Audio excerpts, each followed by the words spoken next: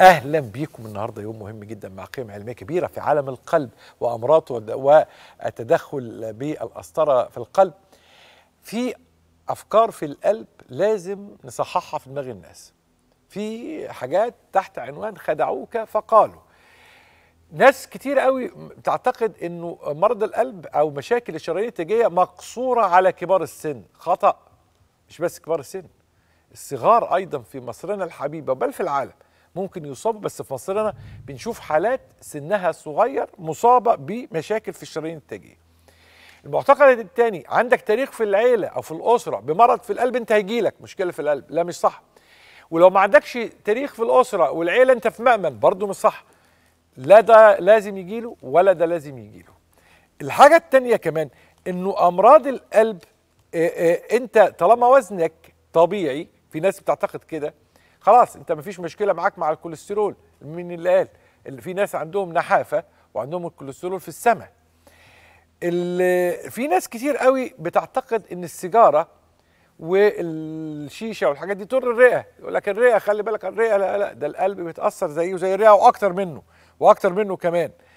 في ناس برضو معتقدة إنها طالما ماشية على الاستاتينز اللي هي الأدوية اللي بتقلل الدهون يبقى بيح... هي خلاص هي كده مش هيجي لها حاجة في الشريط التاجيه أنا باخد الدواء بتاع الدهون.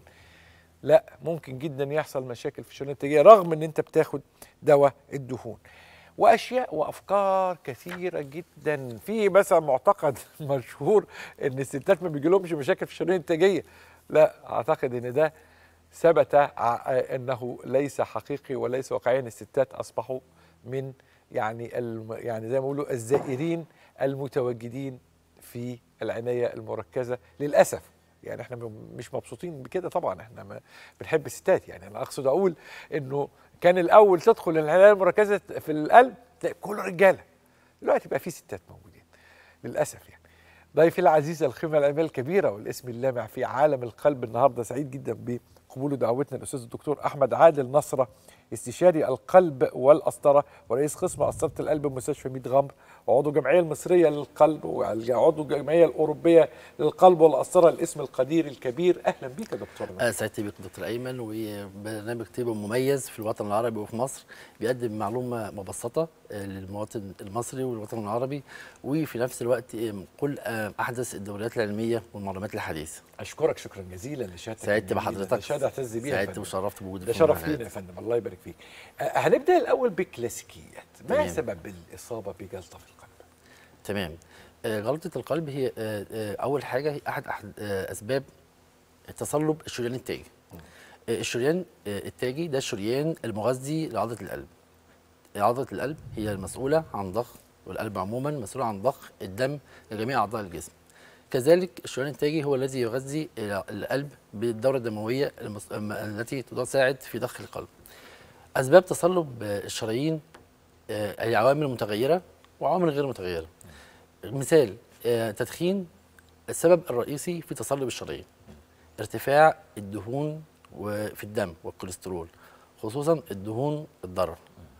آه، السمنة المفرطة التدخين ال- ال- السكر الغير منتظم والضغط أحد العوامل الأساسية التي تؤدي إلى تصلب الشرايين وحدوث غلطات القلب. وإن كان أخطر سبب هو التدخين. وبنتكلم عن التدخين إن وجود النيكوتين في الدم بيغير من طبيعة الشريان التاجي. فيجعله أكثر عرضة لتصلب وحدوث ترسبات دهنية في جدار الشريان. وربنا خالق الشريان التاجي آه، أملس. عند وجود تصلبات في الشريان التاجي يصبح الجدار الداخلي للوعاء الدموي عرضة لحدوث جلطات قلبية. يحصل الجلطه بقى يبدأ يتكون يكون الجلطة. الجلطات بالظبط آه. غير دوت غير في أسباب أخرى التوتر مثلا. في أسباب أخرى. آه الغذاء النظام الصحي آه من ناحية الغذاء ال fast food آه عدم ممارسة الرياضة. تمام. ال- أسباب أخرى كذلك التوتر والانفعالات والضغط العصبي. ودي أحد الأسباب الرئيسية آه، الضغط العصبي بيزيد معدل إصابة بجلطات القلب وحدوث النوبات القلبية. الضغط العصبي للأسف بقى موجود في كل مكان دلوقتي. الضغط العصبي آه، بوجود الالتزامات الحياتية. آه، جعل الموضوع بالنسبة لناس كتير وفئات عمرية كتير تصاب بأمراض القلب. آه، في شباب وكبار السن. مع عدم وجود الوقت المناسب الوقت الكافي لممارسة الرياضة وعدم وجود النظام الصحي الذي يحافظ على صحة القلب. إيه الأعراض اللي ممكن انسان يش... عنده جل- جلطه في القلب يشتكي منها؟ الأعراض آه، الاصابه بجلطة القلب أعراض نمطية وأعراض غير نمطية. يعني أعراض نمطية هي أعراض معروفة للجميع. وجود آلام في الصدر مع تنميل خفقان اختناق آه، آلام الصدر قد تمتد إلى الرقبة أو إلى الكتف مع وجود غثيان أو عرق بارد. ودي أعراض نمطية لما يحس بها المريض بيتوجه لأقرب مستشفى أو أقرب دكتور قلب. وقد تكون أعراض غير نمطية. أعراض النمطيه مثل وجود آلام في المعدة. كثيرا لما بيجي له آلام في المعدة بيفتكر إن دي حموضة في في المعدة. ولكن قد تكون أحد أعراض جلطه القلب هو آلام المعدة. وأكثر في مرضى السكر وكبار السن. ال- المرضى السكر الثالوث الضغط والسكر والسمنة والكوليسترول العالي ده شلة مرعبة. لأن هم الثلاثه دولت آه، اولا بيغيروا في طبيعة الشريان التاجي. فبالتالي هم أكتر أمراض موجودة آه، في جسم الإنسان. فبالتالي عند وجودهم عدم عدم التحكم فيهم بيؤدوا إلى تغير في الشريان التاجي وحدوث جلطات القلب. إيه، عايزين نشرح للناس فكرة كلمة يعني غير نمطية. يعني إيه أعراض غير نمطية؟ أعراض غير نمطية. يعني قد يكون آه، المريض آه، ما لديه إحساس بالام في المعدة أو مجرد غثيان آه، أو ألام في الرقبة فقط والمريض آه، عنده عوامل خطورة لحدوث جلطه القلب عوامل الخطوره قد تكون عنصر وراثي في العيلة والده الدرجة الأولى أو والدته أو الأخ تعرض لنوبة قلبية أو جلطه في القلب فهي في حدوث الأعراض الغير نمطية ممكن المريض ما يتوجهش لدكتور قلب يفسر هذا الأعراض إنها أعراض غير قلبية. ده الام مجرد الام في المعدة ده مجرد حموضة. بس هنا لازم نميزه بشوية أعراض. اولا إن الأعراض الغير نمطيه كالام المعدة الام المعدة ليس لها علاقة بالأكل. ثانيا يصحبها آه، خفقان آه، عدم توازن وقد يصحبها آه، غماء كامل للمريض. فدي الأعراض الغير نمطية. وأكثر وحدوث الأعراض الغير نمطية في السيدات أكثر منها في الرجال. آه، في سيدات ممكن تبقى الأعراض غير غير- واضحة غير, غير واضحة، آه. مش كلاسيكية في الست. لا مش كلاسيكية. آه، آه. مش كلاسيكية. وطبعا إحنا دايما هو دورنا إن إحنا نوعي الناس إن أي عرض ما تفسرهوش.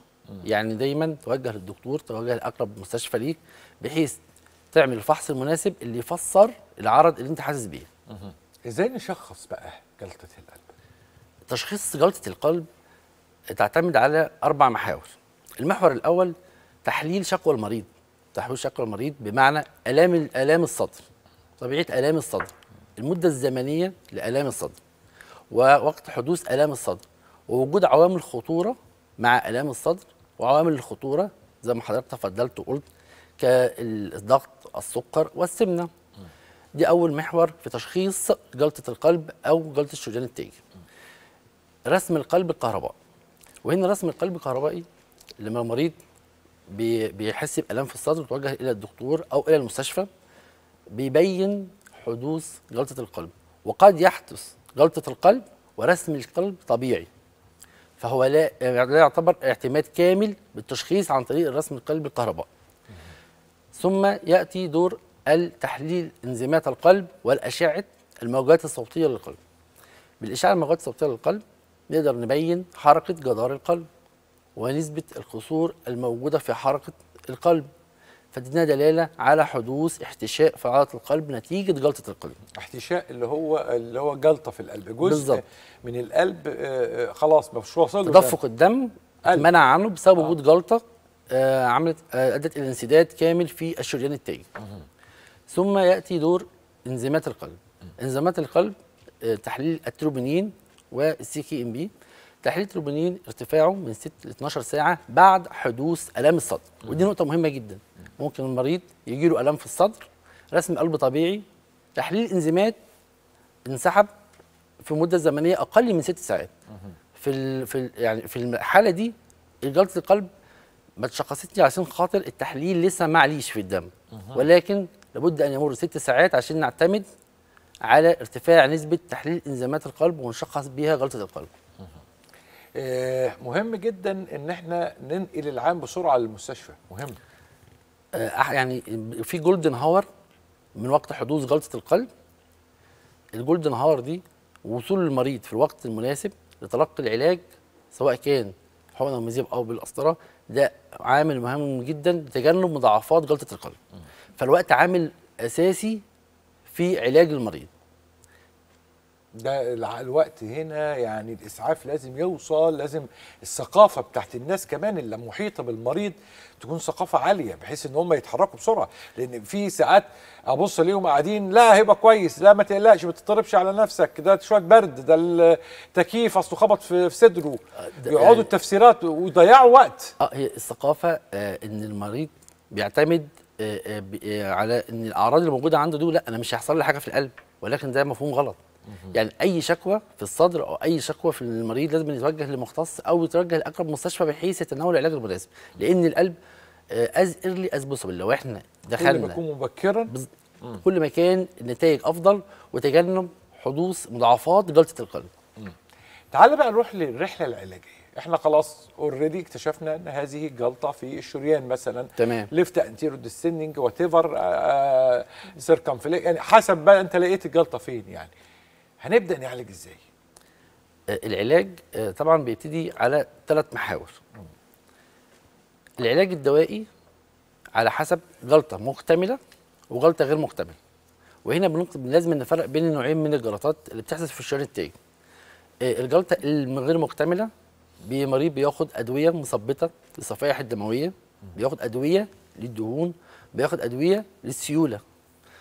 ده الجلطه غير مكتملة. الجلطة المكتملة المريض لو راح مكان توجه للمستشفى المستشفى دي مش مجهزة بوحدة قسطرة قلبية هنا بنعطي العقار المذيب للجلطة. آه بيبقى نتائجه كويسه لو المريض توجه إلى مستشفى مجهزة بخدمة القسطرة القلبية بيتم التدخل السريع بما يسمى بال primary PCI طب آه، بالنسبة للمريض اللي تناول الحقنه اللي أخذ الحقنه المذيبه للجلطه بعد 24 ساعة ل 48 ساعة بيعمل قسطرة تشخيصية لاستكمال خطة العلاج المناسبة. وبالنسبة للمريض اللي بيتوجه إلى مستشفى مجهزة بخدمة القسطرة القلبية الاستفادة بتكون عالية جدا.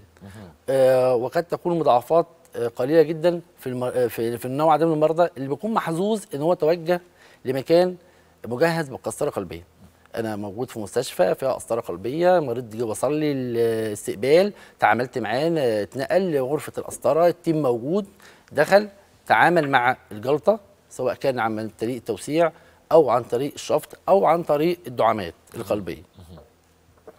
ثم ننتقل إلى مستوى آخر في العلاج. بالظبط انت مستوى اخر العلاج والحالة بتاعت المريض بتبتدي تستقر بمجرد ما انت عالجت الجلطة تماما وفتحت الشريان وقعدت تدفق الدم في الشريان المغذي لعضله القلب. واحدة من أعظم اختراعات الطب على الإطلاق هي الدعامة. الدعامة يعني لها دعامة تساوي حياة زي ما أنتوا بالظبط stent قلتوا آه Stent for Life ده برنامج تبع جمعية القلب المصرية آه، بنحاول آه، إن هو ينتشر آه، في جميع المراكز. بحيث إن الدعامة اسمها Stent for Life هي دعامة إنقاذ حياة. لانها بالنسبة للشريان التاجي ده الشريان المغذي الأساسي لعضلة القلب. كل ما كان دخلنا بدري وقدرنا إن إحنا نفتح الشريان ونحط فيه دعامة ونستعيد سريان الدم داخل الشريان طول ما كانت النتيجة بتبقى أفضل شيء والمضاعفات بتقل. والدعامة دي عنصر مهم وفي منها آه، نوعين. حتى حضرتك في الصورة الموجوده على الشاشة دلوقتي إحنا عندنا شريان كان مقفول تماما. قدرنا ندخل نوسع الشريان قدرنا إن إحنا نحط دعامة الدعامة دي بتبقى عليها مادة دوائية المادة الدوائية دي بتساعد على عدم حدوث ضيق في الشريان وعلى تفتيت أي جلطات مرة أخرى تحدث على الشريان. الدعامة الدو- الدوائية لها قيمة كبيرة. لها قيمة كبيرة. إزاي نقي الإنسان من إصابة بجلطة في الشريان التاجي أو تكرار الجلطة؟ آه، اولا آه، لازما آه، في الوقاية آه، بالنسبة لمريض الضغط مريض السكر التزامه بأدوية الضغط التزامه بأدوية السكر تنظيم مستوى السكر في الدم تنظيم مستوى الضغط ده عنصر وقائي بالنسبة لجميع الأشخاص. ثم الأكل الصحي الأكل الصحي الفواكه الأكل اللي غير مشبع بالدهون ده أحد العوامل الوقاية من حدوث غلطات القلب. ممارسة الرياضة. ممارسة الرياضة أبسط رياضة ممكن نمارسها في حياتنا هي المشي. من نص ساعة لساعة. دي بتساعد المريض والشخص إن هو يكون أقل عرضة للنوبات القلبية والجلطات القلبية. ثم عمل التحاليل المناسبة لاكتشاف المبكر لوجود ارتفاع مستوى الدهون في الدم. آه، العلاج الوقائي يعتمد على تكسير الدهون وعدم وجود ارتفاع نسبة الكوليسترول في الدم وصول مستوى الكوليسترول إلى النسب الطبيعية المتعارف عليها دوليا. ده بيساعد الشخص إن هو ما يتعرضش لجلطات قلبية. ثم التدخين. العزوف عن التدخين.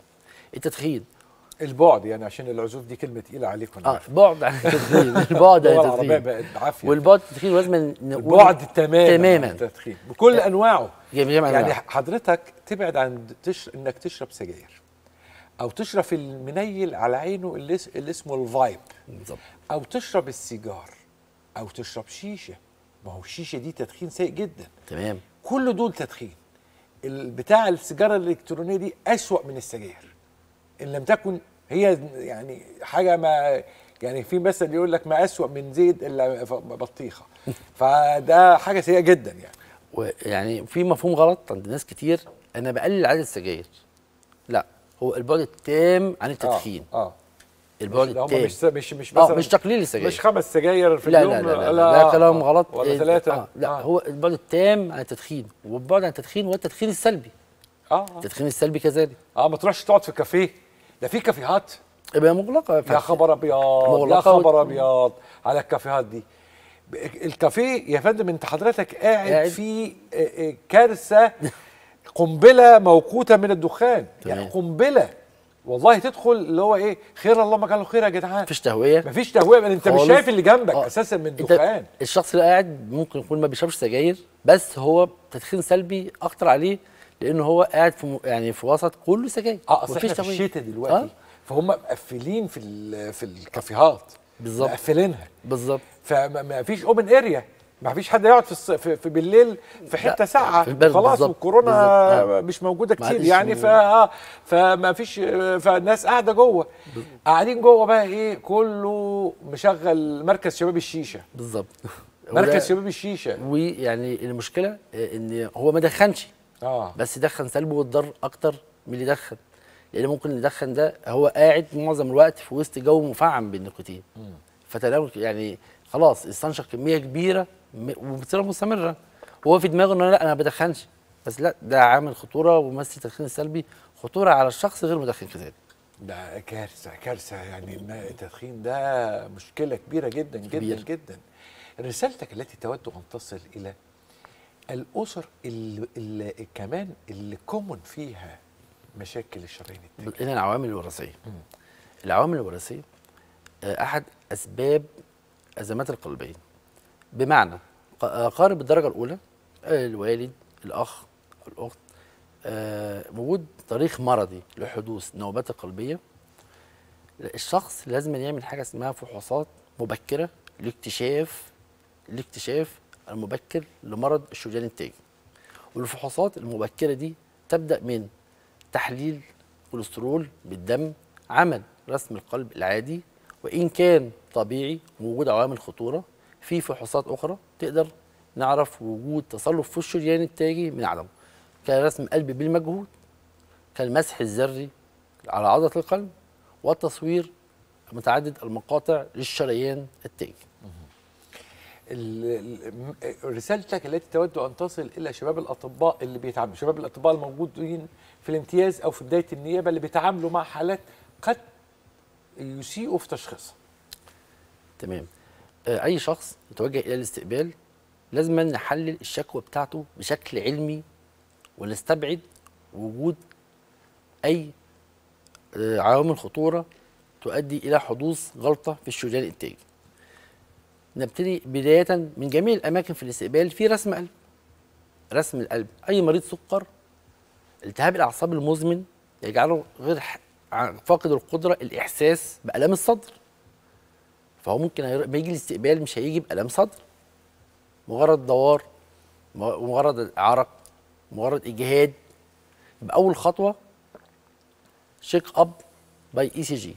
إحنا نعمل رسم قلب أولي لاستبعاد وجود القصور في الشريان التاجي أو أزمة القلبية أو الذبحة الصدرية الغير مستقرة. ثانيا تحاليل انزيمات القلب بقت موجودة في معظم الاستقبال في مستشفياتنا ده عنصر مهم والتحليل سريع يعني فاست بيطلع في في وقت بسيط ده نقدر نستبعد بيه وجود الأزمات أو الجلطات القلبية كذلك. ثم بعد ذلك آه، آه، م- في جميع الأماكن ممكن يبقى في حاجة اسمها ال chest pain unit المريض جاي بالام في الصدر ورسم القلب والتحليل كويسين ممكن نحجزه under observation مده تحت الملاحظة. 12 24 ساعة. ونعمل له فحوصات غير نافذة لاستبعاد وجود تصلب أو قصور في الشريان التاجي بصوا يا جماعة في قاعدة دايما في القضاء يعني ودي القضاء اللي هو القانون يعني. قاضي يقول لك إيه في القضاه يقول لك لو أنا برأت مجرمين يعني في مجرم درست القضية مفيش مش ثابت عليه ال- الموضوع بشكل كامل. فبرأته. بالظبط. مش هزعل لكن لو حبست مظلوم هو ده الغلطة بقى. بالظبط. هو يعني ده الغلطة الكبيرة. هو لأن ال- المريض آه، آه، آه، في الطب نفس الكلام إحنا بقى اقتبسنا منهم الحكاية آه. دي. وطب هم اقتبسوا منا ما أعرفش مين خد من مين يعني. بس إحنا عندنا القاعده دي في في الباطنة في الطب في القلب بالذات. لو فلت لو أنت دخلت في ال observation في الملاحظه في غرفة الملاحظة في ال chest unit 10 عيانين شاكك إن هم جلطة في القلب. وطلعوا العشرة دول ولا واحد فيهم عنده جلطة في القلب أنا هحييك وأنت تمام التمام لكن لو فلت منك واحد قلت له روح. أنت ما عندكش حاجة. الأزمة. وراح طالع على باب المستشفى طب ساكت ب- ب- ب- بصدر دس أو جات له مشاكل بقى قلبية أخرى بسبب إن أنت حضرتك ما شخصتش جلطة القلب بالشكل الكامل هو ده اللي هتلام عليه مدى حياتك. تمام. ودي بنقول المريض اللي جايب أعراض غير نمطية للاستقبال ده اللي لازما إن أنا أ- أ- اعمل له حجز لازما اعمل له الفحوصات اللازمة اللي تستبعد وجود تصلب أو ذبحة صدرية غير مستقرة. وخلي بالكم يا جماعة إن في مرضى بيقودوك إلى أعراض بعيدة يعني هو بنفسه بيبقى عايز. آه عايز آه. خايف من وسواس. بقى. آه فمثلا ال- الألم الموجود في فم المعدة اللي بيحيرك بين اللي جاي من جلطة في الشريان ال- القلبي الس- الأسفل ال inferior infarction أو ال left. ال left circumflex آه أو left circumflex أو صح كده أو ال RCA آه بتعمل ألم في فم المعدة هو نفسه كل شوية يقول لك إيه الألم هنا مش في القلب يا الألم هنا الألم في فم المعدة. ده هو باين أنا التهاب في المعدة. أنا عارف إن ده التهاب في هو نفسه خايف آه.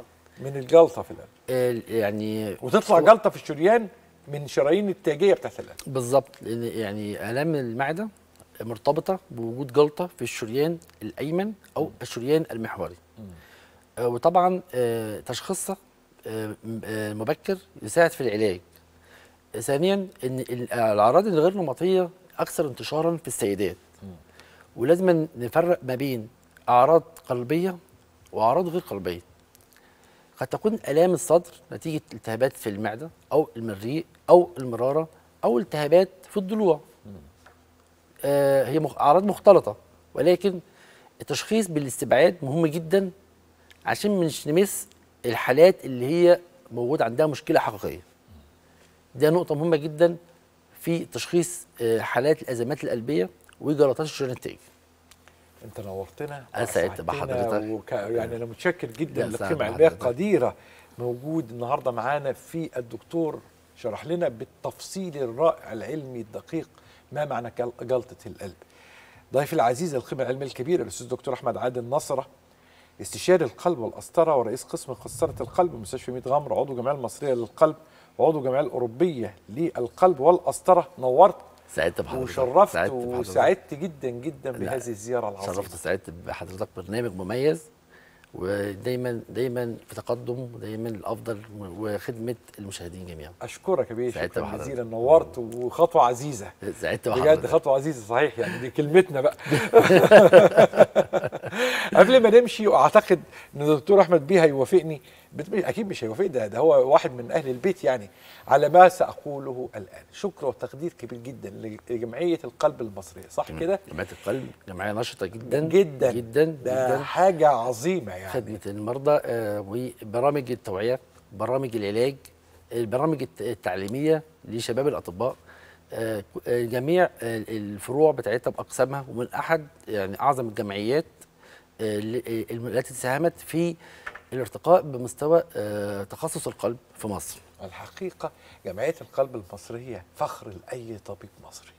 جمعية القلب المصرية تحتوي على رموز وأسماء يعني أسطورية في عالم القلب. جمعية القلب المصرية حقاً. نموذج للجمعيات التعليمية في مصر. جمعية تعليمية من الطراز الأول ونقل الخبرات فيها عالي جدا جدا. ونموذج بالفعل للحب ما بين أطراف الأسرة أسرة القلب المصرية المتفردة الرائدة اللي ما فيش زيها. مش عايز أقول على مستوى الشرق الأوسط كله. يعني إحنا أعتقد إن جمعية القلب المصرية جمعية تحتاج آه، منا إلى يعني آه، النظرة التقدير لهذه وده أقل شيء لهذه الجمعية العريقة اللي بتقدم الكثير والكثير. نورت يا فندم. سعدت بحضرتك. وسلامي لكل فرد من أفراد الجمعية. سعدت بحضرتك يا فندم. خليكم دايما مع سعيد.